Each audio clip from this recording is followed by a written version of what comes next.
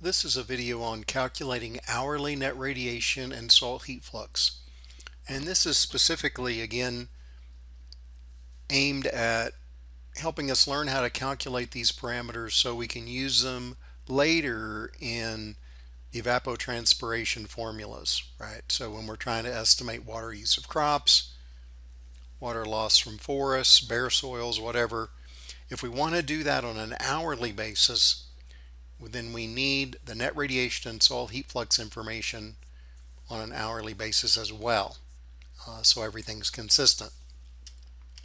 Just a quick reminder what net radiation is. Uh, we've covered this on a daily time step but now we're going to talk about hourly estimates. So it's the absorbed short wave plus the absorbed long wave minus the emitted long wave. And we looked at diagrams of that before so we know it's a function of solar radiation temperature, emissivity of the sky, all those types of things. And again, in the previous examples, we did this on a daily basis, which is fine if you want to estimate evapotranspiration on a daily basis. But what if you want to get the diurnal pattern, right? And you want to use hourly data inputs. How do you do it? And that's what we're going to learn today. So again, just a reminder in our ASCE reference crop evapotranspiration formula, we see there in the numerator there's a term Rn minus G. That's net radiation minus soil heat flux. That's the total available energy that's either going to be used for latent heat flux evaporation or sensible heat flux. And we'll talk about that some more in the next sections, the energy balance and how those play in. But these are really large terms in this formula. So if you make any kind of mistake on calculating net radiation and soil heat flux, um, that'll show up very quickly in your calculations. Now one interesting thing that we should talk about, when you use these formula on a daily basis, okay, where you use a 24 hour time step, we usually assume G is zero and it falls out of the equation. That's because just about the same amount of heat is absorbed into the soil profile during the day as is lost from the soil profile at night. So we can just get rid of that term and that greatly simplifies things. But when we operate on an hourly time step, this is not the case. Sometimes, especially in sparse crops or crops that don't completely cover the surface, a large fraction of net radiation will go in to heat the soil and that must be accounted for okay? Now again a little background. A lot of people have wondered is there a lot of benefit from doing evapotranspiration calculations on an hourly time step versus doing them on a daily time step? And we'll talk about that some more later.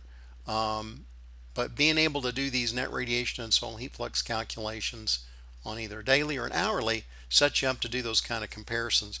And this is just a, showing you a little bit of data. I'll show you some data from this paper which was done in Australia. And on this graph you see evapotranspiration estimated um, on an hourly time step on the y-axis and a daily time step on the x-axis. You see a couple of different um, uh, approaches that they use.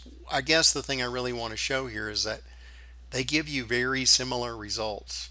Okay, and this is what most people find with um, using hourly weather data versus daily weather data uh, only causes a few percentage change in the daily ET estimate, right? So if you're a farmer or you're a water manager and you're trying to estimate ET in millimeters per day for your irrigation management system, may not make too much difference whether you use hourly or daily strategies, time steps.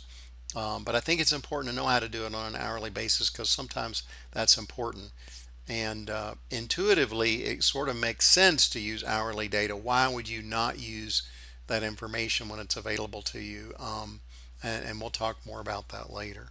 So what we need is not daily net radiation, but hourly net radiation. And you can see here's some example data uh, showing um, net radiation.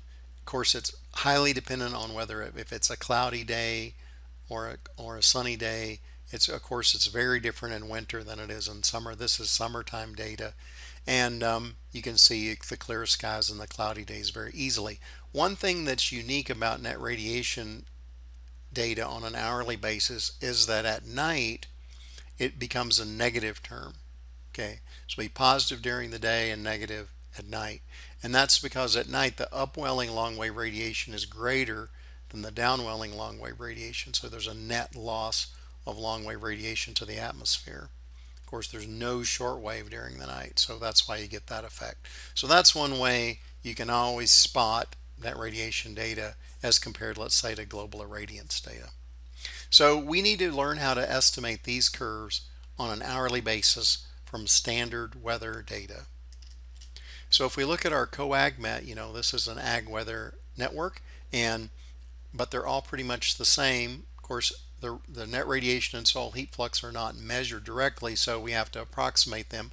We can see there that the big difference is that we have the air temperature, the relative humidity, and vapor pressure, but we've also got solar radiation, and in this case, it's in kilojoules per meter squared per minute, okay, rather than megajoules per meter squared per day on a, on a daily basis. So that's clearly something that we're going to need. The example that I'm getting ready to show you is right out of this um, ASCE Standardized Reference ET booklet, uh, the 2005 report, and uh, that's the one I want to use as a standard. So I'm just going to walk through this pretty quickly, knowing that you can look at the written materials that I'm posting um, to, to look at the details. So if we look at how it starts out, it it starts out just like it does on the daily on the daily basis. Net radiation is the net short wave minus the net long wave. But we see that the units are different. Again, megajoules per meter squared per hour, okay, instead of megajoules per meter squared per day. Okay, so that's the big difference, right? But still the concept is the same. It's the net, it's the absorbed short wave minus the net long wave. Okay, I'm going to switch to the uh, MATLAB Live Editor now. I'm going to show you some examples. Uh, just where I did the sample calculations, and it gives you kind of the recipe for doing the um, doing the calculations. First off, let's look at the inputs so you need the day of year, the time of day, and use a 24 hour clock on there. So 1400, that's 2 p.m. in the afternoon in this example. You need the air temperature, vapor pressure, global irradiance. These are all from COAGMET. So that's solar radiation in kilojoules per meter squared per minute. Okay. Um, elevation, latitude and longitude, uh, you also need the longitude of the central meridian for your time zone. That's 105 degrees for mountain time, 90 degrees for central time, for example. And you need the albedo. You could also use the um, leaf area index of the crop to help you estimate soil heat flux. And we'll talk about that here in a minute. So first thing we need to do is get that global irradiance in the correct units, megajoules per meter squared per hour. So that's what's going on here in the first calculation. The second calculation, we calculate the net shortwave radiation using that number and the albedo. So that's just like the daily calculation. See there, it's 2.23. We calculate the declination angle and the distance factor. Remember, all angles in these calculations are in radians unless specified. So this first part looks very similar to the um, to the daily net radiation calculation. Then we move on. We have to calculate the latitude in radians. And then there's some new calculations, and we have to calculate the equation of time, which accounts for some variations in the Earth orbit we have to calculate um, the sunset hour angle in radians. We have to calculate the midpoint and endpoint hour angles, okay? And, you know, like before, this is all so that we can get the clear sky irradiance so that we can calculate this cloudiness factor, right? We learned that when we did the daily example.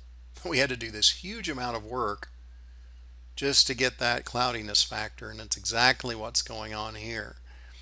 We're laying the groundwork for that calculation. Finally, we calculate the extraterrestrial radiation, okay, here. And then finally, we get clear sky radiation, right?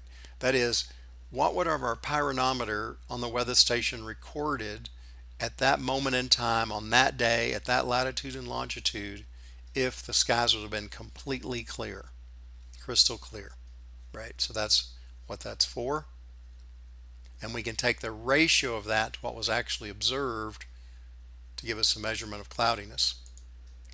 And that's what you see going on here. We get the ratio between clear sky, between the actual radiation and the clear sky radiation, which in this case was 0.91. So clearly it was a very, uh, no pun intended, it was a very clear day. Then we can calculate this cloudiness factor which varies between 0 and 1, 1 being clear, very clear. That's what that FCD is.